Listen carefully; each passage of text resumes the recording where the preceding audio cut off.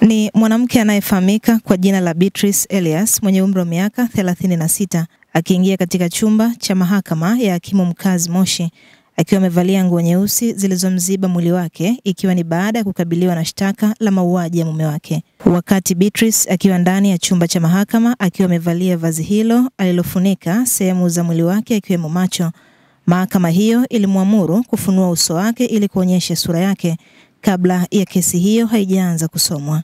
Beatrice amesomewa shtaka hilo la mauaji na wakili wa serikali Henry Daudi mbele ya hakimu mkazi mwandamizi wa mahakama hiyo Harriet Mhenga akidaiwa kumuua mume wake aitwaye Efagro Msele katika maeneo ya Pumuani, manispaa ya Moshi Mei 25 mwaka huu. Aidha, Beatrice anadaiwa kutenda kosa hilo kinyume na kifungu cha 196 na 197 cha kanuni ya adhabu sura ya 16 iliyofanyiwa marejeo mwaka 2022.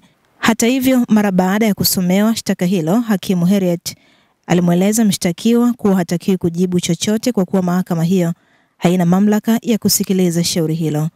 Kadhalika, wakili huyo wa serikali ameomba shauri hilo lipangiwe tarehe nyingine kutokana na upelelezi wa kesi hiyo kuto kukamilika.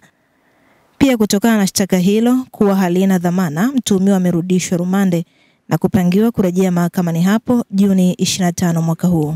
Wanafamilia katika kesi hiyo wakizungumza nje ya mahakama wamedai kushtushwa na namna ambavyo mtuhumiwa huyo ameingizwa kwa kificho huku akiwa amevalia nguo zilizoziba mwili wake kuficha utambulisho wake.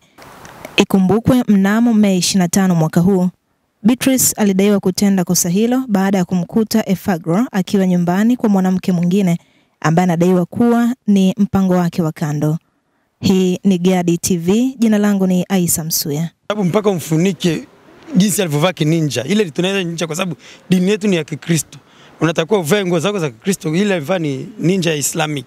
Cha msingi ni mtuhumiwa wa kesi ya mauaji amekamatwa, amekuja leo, amejifunika, asijifunike, hata akijifunika milele na milele. Cha msingi tunahitaji conviction au kifungo kwa accused, ili iwe fundisho kwa wengine wote ambao wanawapiga visu waume zao. Na kusaidia ndugu mwandishi, leo huyu Msele sio tu ndugu wa mke, yaani kuna watu wanachanganya kwenye sheria ya ndoa, wanafikiri ukishaoa tayari amekuwa ni wa kwako. Hapana, yule Msele leo ana wajomba zake, ana baba zake, ana kaka zake, ana washangazi zake na wengine. Kwa hiyo kuolewa au kuoa haipelekei kwamba huyu ndio umekuwa mtu wa fulani.